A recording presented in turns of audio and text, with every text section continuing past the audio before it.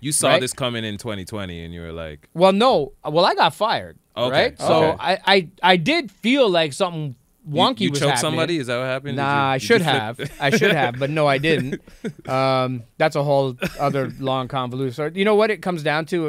I'm sure it's a bunch of different things, and someone will say one thing and some, but a lot of it had to do with how much fight I was giving them. Giving them. Like at some point, your bosses are going to tell you kick rocks because they're sick of hearing you tell them that you keep fucking up. Like, Yeah. and again, Yeah, yeah. I'd be in a boardroom. It would be I'd be the only person of color in a boardroom, and we're we're talking about a black music radio station. And I don't claim to be the spokesperson for black people. I've Right. just been attached to this culture for so long, Yep. and I bring a certain level of radio expertise, mm-hmm. right? But I don't I don't say that I am the spokesperson. Yeah. Do you know what I mean? but your I've resume does speak for itself. but I always considered myself from day one. I'm a guest. Right. Right. Right. You do your job. Right. You do it well, and you become somebody who gets to stay longer. Yeah. Okay. Yeah. And but you're still a guest. Let's be real. Everybody knows your name in the industry here.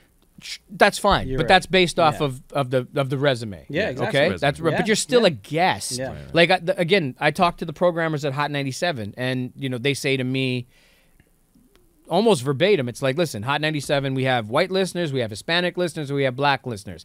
I don't care what the white and Hispanic listeners want to say. Right. The black listeners dictate what we do, and the rest of them will listen. Really? That's 100%. Wow. Oh wow. Because, and this is a Hispanic guy as the program director, because he understands the culture. The culture. Yeah. Right? He understands that it's culture driven. Yeah. So I had a boss who would argue Toronto is 50% white and 50% other, so we got to make sure that our research panel reflects that. And I'm mm. and I would argue back saying, why are you letting somebody cuz you ask a bunch of questions before you let people into a panel. And some of those questions are what's your favorite station? Mm-hmm.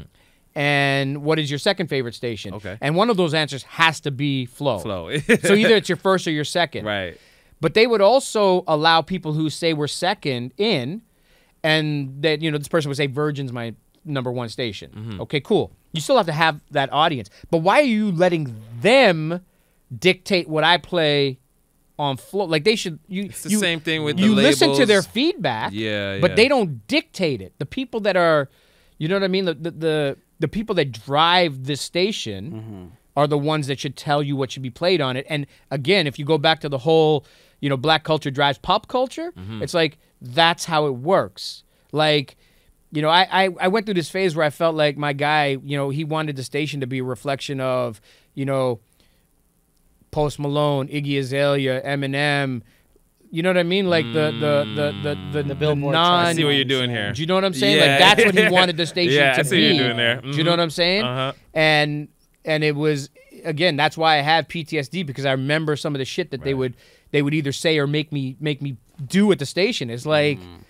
I think about some of the records we were playing. I'm like, why the fuck were we doing this shit? Yeah, Like yeah. this is not what this station is supposed to be. Yeah. Do you have a uh, a proudest uh, radio moment? A moment that you're most proud of as maybe a DJ or a director or whatever position, time I place? don't I don't know if I if I Something have that it. sticks out, memorable, maybe.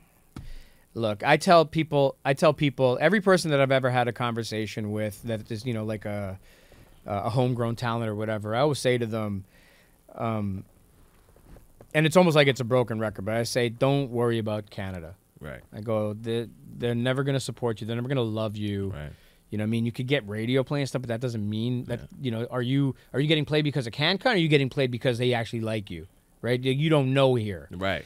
Right. right when right. you know is when you blow up Leave, somewhere else. yeah, yeah. No, no, you didn't leave, but you blow up somewhere Okay, else. You, okay. you achieve success somewhere else. I even think about rock bands, right? Mm. Like I think about, um, you know, as much as you know people shit on Nickelback, they're fucking huge outside of Canada. Oh, in the Do you know what I mean? a- like they were massive. name. There was a simply simple simple plan. Simple plan, yeah. Big Yeah. outside of Canada. You Yeah. know who wasn't big outside of Canada? Hedley. Right. Hedley had they tried to get him signed in the U.S. Fucking brick, right? Didn't work. Yeah. and then they were they were massive here. You know why? Because of CanCon, right? All these stations had to play your mm. shit because you might be the best of what's here, Yes. but no one outside of here gives a fuck. Work hard and I handle my business. Look up in the sky, whole squad, let's get it. No limit, no. No limit.